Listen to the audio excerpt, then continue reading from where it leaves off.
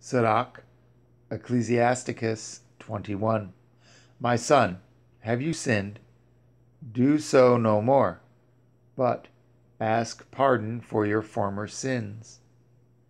Flee from sin as from the face of a serpent, for if you come too near it, it will bite you. The teeth thereof are as the teeth of a lion, slaying the souls of men. All iniquity is as a two edged sword, and the wounds whereof cannot be healed. To terrify and do wrong will waste riches, thus the house of proud men shall be made desolate.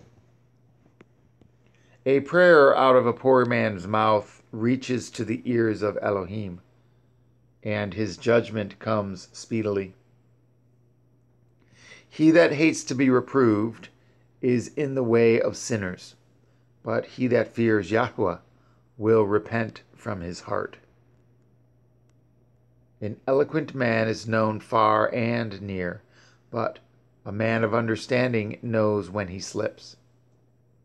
He that builds his house with other men's money is like one that gathers himself stones for the tomb of his burial.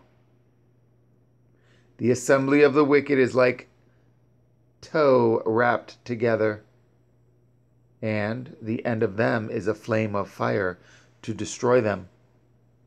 The way of sinners is made plain with stones, but at the end thereof is the pit of Sheol. He that keeps the Torah of Yahweh gets the understanding thereof, and the perfection of the fear of Yahweh is wisdom. He that is not wise will not be taught, but there is a wisdom which multiplies bitterness. The knowledge of a wise man shall abound like a flood, and his counsel is like a pure fountain of life.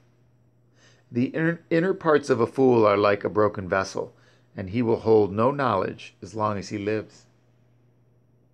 If a skilful man hear a wise word, his rather he will commend it and and add unto it. But as soon as one of no understanding hears it, it displeases him, and he casts it behind his back.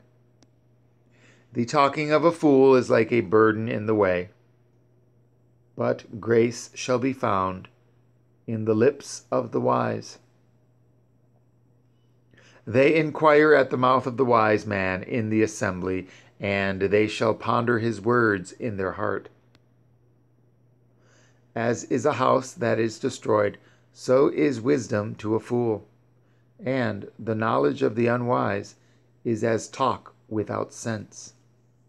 Doctrine unto fools is as fetters on the feet, and like manacles, rather manacles on the right hand. A fool lifts up his voice with laughter, but a wise man scarcely smiles a little.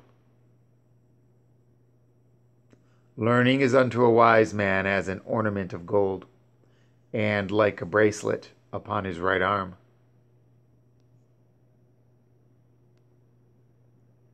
A foolish man's foot is soon in his neighbor's house, but a man of experience is ashamed of him.